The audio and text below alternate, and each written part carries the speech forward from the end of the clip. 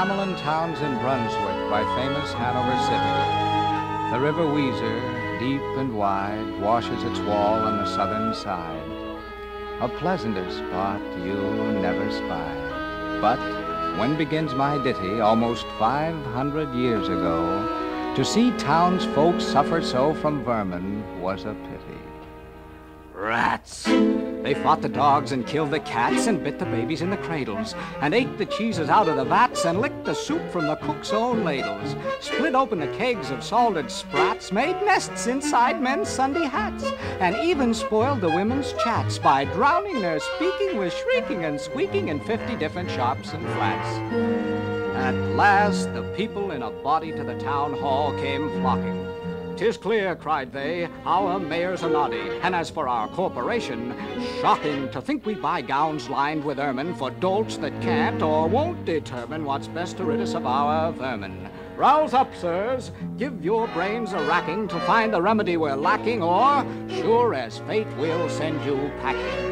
At this, the mayor and corporation quaked with a mighty consternation. An hour they sat in council. At length the mayor broke silence. It's easy to bid one rack one's brain. I'm sure my poor head aches again. I've scratched it so, and all in vain. Oh, for a trap, a trap, a trap. Just as he said this, what should hap at the chamber door but a gentle tap? Bless us, cried the mayor. What's that? Only a scraping of shoes on the mat? Anything like the sound of a rat makes my heart go pit-a-pat. Come in, the mayor cried, looking bigger. And in did come the strangest figure. His queer long coat from heel to head was half of yellow and half of red. And he himself was tall and thin, with sharp blue eyes, each like a pin, and light, loose hair, yet swarthy skin, no tuft on cheek nor beard on chin, but lips where smiles went out and in. There was no guessing his kith and kin, and nobody could enough admire the tall man in his quaint attire. He advanced to the council table. Please, your honors, said he, I'm able, by means of a secret charm, to draw all creatures living beneath the sun that creep or swim or fly or run after me, so as you never saw. And I chiefly use my charm on creatures that do people harm. The mole and toad and newt and viper, and uh, people call me the Pied Piper. And here they noticed round his neck a scarf of red and yellow stripe to match with his coat of the self-same check. And at the scarf's end hung a pipe. And his fingers, they noticed, were ever straying as if impatient to be playing upon this pipe, as low it dangled over his vesture so old-fangled. Yet, said he, Poor piper as I am, in Tartary I freed the Cham last June from his huge swarms of gnats. I eased in Asia the Nizam of a monstrous brood of vampire bats. And as for what your brain bewilders, if I can rid your town of rats, will you give me a thousand guilders? One! Fifty thousand was the exclamation of the astonished mayor and corporation. Into the street the piper stepped, smiling first a little smile, as if he knew what magic slept in his quiet pipe the while. Then, like a musical adept, to blow the pipe his lips he wrinkled, and green and blue his sharp eyes twinkled like a candle flame where salt is sprinkled. And ere three shrill notes the pipe uttered, you heard as if an army muttered and the muttering grew to a grumbling, and the grumbling grew to a mighty rumbling, and out of the houses the rats came tumbling. Great rats, small rats, lean rats, brawny rats, brown rats, black rats, gray rats, tawny rats, grave old plotters, gay young friskers, fathers, mothers, uncles, cousins, cocking tails and pricking whiskers, families by tens and dozens, brothers, sisters, husbands, wives, followed the piper for their lives.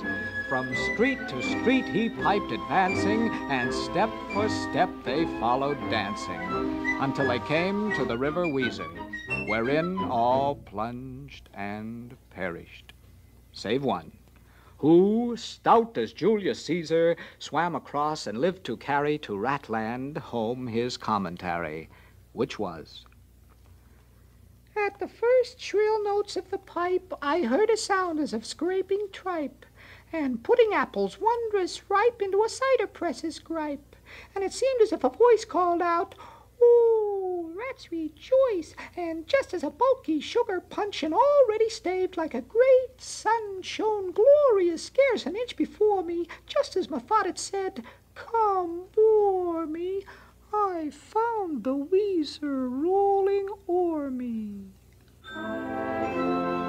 You should have heard the Hamelin people ringing the bells till they rocked the steeple. Go, cried the mayor, and get long poles.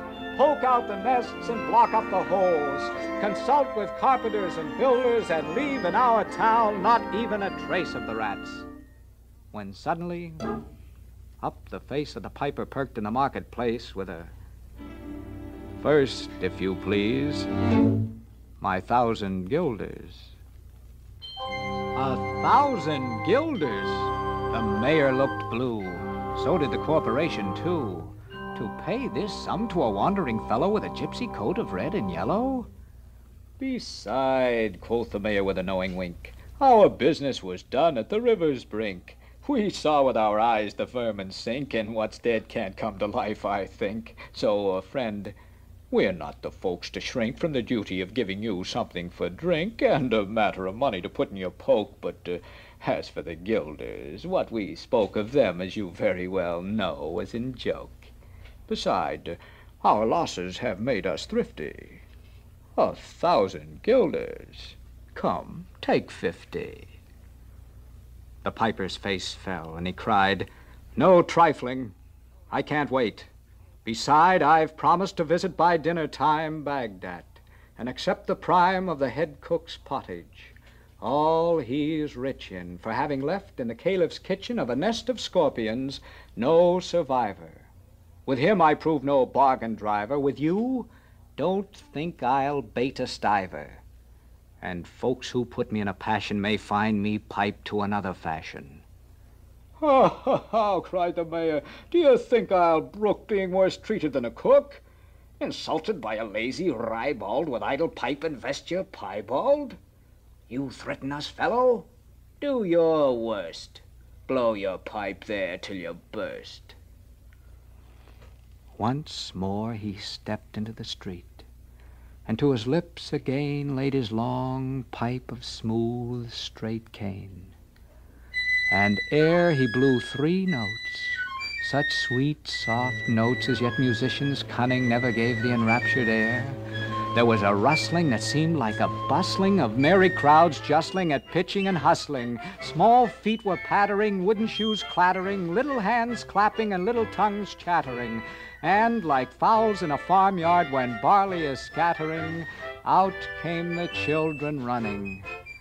All the little boys and girls with rosy cheeks and flaxen curls and sparkling eyes and teeth like pearls, tripping and skipping ran merrily after the wonderful music with shouting and laughter.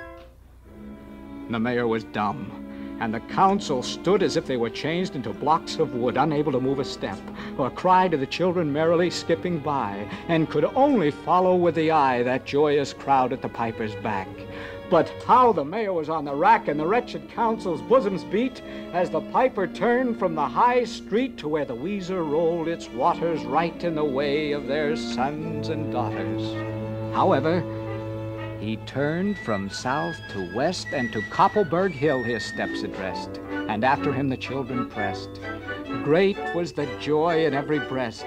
He never can cross that mighty top. He's forced to let the piping drop, and we shall see our children stop.